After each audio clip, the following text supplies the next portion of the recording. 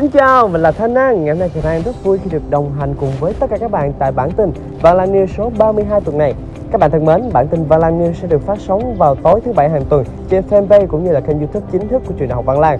Các bạn thân mến, Văn Lai News sẽ cung cấp cho các bạn những thông tin, hình ảnh cũng như là những sự kiện nổi bật của trường đại học Văn Lai trong tuần. Từ ngày 7 tháng 3 đến ngày 10 tháng 3 năm 2022 thì trường đại học Văn Lai kết hợp cùng với Viện Vi sinh và chống dịch Đại học Stanford của Mỹ để tổ chức chuỗi sự kiện Hội nghị y khoa và công nghệ. Nơi đây tham gia của rất nhiều những chuyên gia lớn của Việt Nam và quốc tế. Ngay bây giờ, Thanh An xin mời các bạn cùng điểm qua những hoạt động của sự kiện này nhé.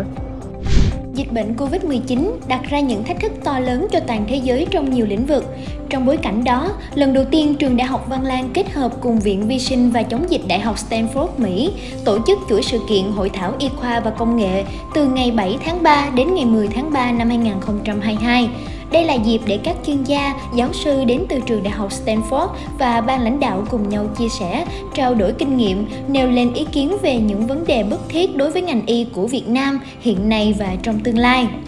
Đại học Stanford là cái nôi của hơn 30 tỷ phú, 17 phi hành gia, 18 người đạt giải Turing và nắm giữ vị trí lãnh đạo trong các bộ máy chính phủ. Điều hành tập đoàn lớn trên thế giới như Google, Nike, Instagram, Yahoo.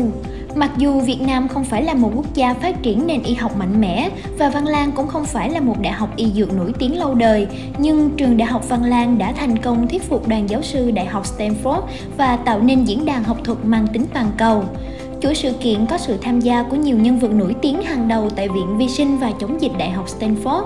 giáo sư, tiến sĩ, bác sĩ Jeffrey Glenn, Viện trưởng Viện chống dịch Đại học Stanford, với đóng góp to lớn hơn 30 năm cho ngành y, ông được phong danh hiệu giáo sư bậc cao quý nhất tại Stanford. Ông cũng là người phát minh ra việc dùng thuốc lambda để điều trị COVID-19.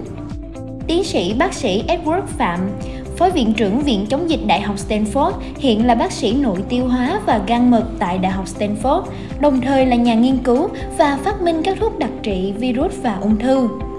Thạc sĩ Wendy Uyên Nguyễn, cố vấn chiến lược Viện chống dịch Đại học Stanford. Cô có hơn 10 năm kinh nghiệm trong ngành quản lý cấp cao hệ thống bệnh viện. Tiến sĩ Lương Minh Thắng, cố vấn công nghệ Viện chống dịch Đại học Stanford. Ông hiện là nhà nghiên cứu cấp cao tại Google và nắm giữ trong tay hơn 50 bài nghiên cứu, 15.000 trích dẫn và hơn 15 bằng sáng chế. Ông từng được tạp chí Forbes Việt Nam vinh danh là một trong những người có tầm ảnh hưởng lớn trong ngành. Trong chuyến làm việc từ ngày 7 tháng 3 đến ngày 10 tháng 3 năm 2022, đoàn chuyên gia Viện Vi sinh và chống dịch Đại học Stanford đã tham gia các buổi hội thảo chuyên đề, chương trình cố vấn, trao đổi kinh nghiệm về quản trị đại học, ứng dụng công nghệ AI trong giáo dục, trải nghiệm campus và văn hóa Việt Nam, trong khuôn khổ chuỗi sự kiện Hội nghị Y khoa và Công nghệ, ngày 8 tháng 3 năm 2022, đoàn chuyên gia Viện Vi sinh và Công nghệ Đại học Stanford đã có buổi dự thính lớp học của sinh viên khoa răng hàm mặt tại khu thực hành lâm sàng. Tại buổi dự thính, tiến sĩ bác sĩ Trần Ngọc Quảng Phi, trưởng khoa răng hàm mặt và tiến sĩ bác sĩ Tạ Tố Trân, phó trưởng khoa, hướng dẫn sinh viên năm 2 chuyên đề kiểm soát lây nhiễm trong phẫu thuật nha khoa. Đây là bài học nền tảng cần luyện tập thuần thục với mọi bác sĩ nha khoa. Các bạn sinh viên còn được trực tiếp giao lưu với các chuyên gia khu thực hành lab, Giao lưu với sinh viên, giáo sư tiến sĩ bác sĩ Jeffrey Glenn khen ngợi cơ sở vật chất hiện đại đáp ứng tốt yêu cầu kết nối phát triển khối ngành sức khỏe tại trường Đại học Văn Lang. Qua lời chia sẻ thân tình, sinh viên nhận ra rằng người trẻ Việt Nam có thể ghi dấu ấn của mình bên cạnh những người bạn quốc tế trong bất kỳ lĩnh vực nào. Hội thảo chuyên đề thuốc đặc trị và phòng chống Covid-19 xoay quanh thách thức, cơ hội và kinh nghiệm phòng chống đại dịch Covid-19 tại Việt Nam, hướng tới hợp tác nghiên cứu nâng cao khả năng sẵn sàng ứng phó với đại dịch, xem xét các mô hình kết hợp giữa tập trung, cộng đồng, xe lưu động trong trụ cột xét nghiệm phòng chống dịch tại thành phố Hồ Chí Minh năm 2021. Hội thảo cũng chỉ rõ sứ mệnh của Viện Vi sinh và chống dịch Stanford trong các cơ sở nghiên cứu tại Việt Nam các kiến thức về kỹ thuật y học trong điều chế thuốc đặc trị và phòng chống Covid-19 hứa hẹn là những kinh nghiệm quý để phát triển trong các ứng dụng y khoa về sau. Các chuyên gia cũng đã có phiên trao đổi với ban lãnh đạo trường Đại học Văn Lang về công nghệ y khoa và kỹ thuật y học, kỹ thuật y sinh. Các nghiên cứu của chuyên gia chống dịch đến từ Đại học Stanford và Đại học Y Dược Thành phố Hồ Chí Minh đã định hướng rõ nét hơn trong đào tạo y khoa, kỹ thuật y học và kỹ thuật y sinh cho trường Đại học Văn Lang. Từ năm 2017, trường đã đặt nền móng phát triển khối ngành tạo đạo sức khỏe với định hướng phát triển mô hình trường học, bệnh viện. Hiện nay, trường là địa chỉ uy tín trong nước về đào tạo bác sĩ răng hàm mặt, dược sĩ, điều dưỡng viên, kỹ thuật viên xét nghiệm y học, cũng như phát triển song song hệ thống phòng khám đa khoa, bệnh viện quốc tế chất lượng cao tiếp nối chuỗi hội thảo chuyên đề, hội thảo ung thư và định hướng nghiên cứu điều trị, tập trung vào những nghiên cứu chữa trị ung thư gan, viêm gan siêu vi B, ung thư phổi, làm sáng tỏ những thách thức và định hướng mới cho y tế Việt Nam. Buổi hội thảo có sự tham gia của giáo sư tiến sĩ bác sĩ Jeffrey Glenn, Viện trưởng Viện chống dịch Đại học Stanford, tiến sĩ Edward Phạm, Phó Viện trưởng Viện chống dịch Đại học Stanford, tiến sĩ bác sĩ Lê Tuấn Anh, Giám đốc Trung tâm ung bướu Bệnh viện Chợ Rẫy đã thực hiện nhiều nghiên cứu hiệu quả về liệu pháp tương lai cho điều trị HPV. Tiến sĩ Edward Phạm, Phó Viện trưởng Viện chống dịch Đại học Stanford cho biết,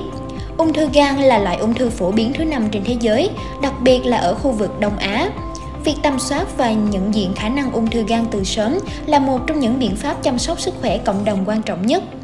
tiến sĩ Edward Phạm khuyến nghị Việt Nam cần nhân rộng hoạt động kiểm tra sức khỏe định kỳ, tìm ngừa vaccine HPV và tiến hành chữa trị ngay từ sớm. Ngày khuôn khổ tọa đàm, các nhà khoa học đã có dịp trao đổi cùng nhóm giáo sư đến từ Viện chống dịch Đại học Stanford về tình hình điều trị ung thư trong nước và chia sẻ thêm những trải nghiệm trong quá trình nghiên cứu.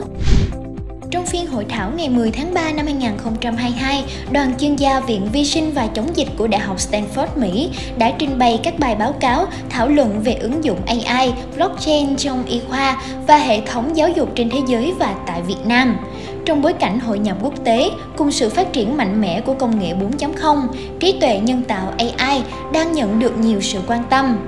Tại hội nghị, các chuyên gia thuộc lĩnh vực công nghệ giáo dục, y tế đã cung cấp cái nhìn đa chiều về dữ liệu tính toán, định hình hướng đi rõ nét hơn cho Việt Nam trong việc sử dụng dữ liệu lớn, big data vào y tế cũng như giáo dục.